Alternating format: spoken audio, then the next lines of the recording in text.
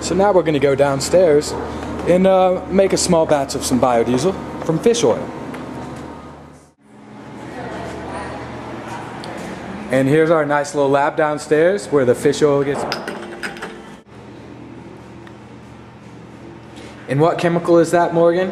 Potassium hydroxide. All right. So we're just making a small batch of, of biodiesel today.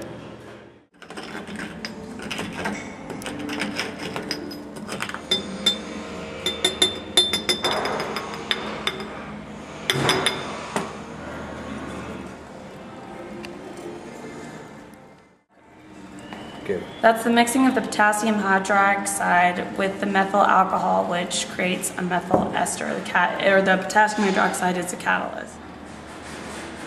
And how much of that? 250 milliliters of fish oil. Fish oil. And we're gonna add 40 milliliters out of 50 of this methoxide um, mixture. And we're only doing a little bit because if you do all of it at once, you don't get as complete of a reaction. So you do it in two stages to make sure that it's complete.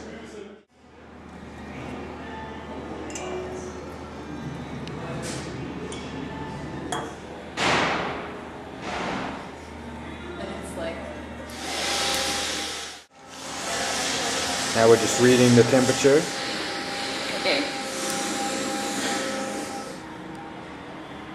These are separating. The glycerin has sunk to the bottom and now we can just drain it off.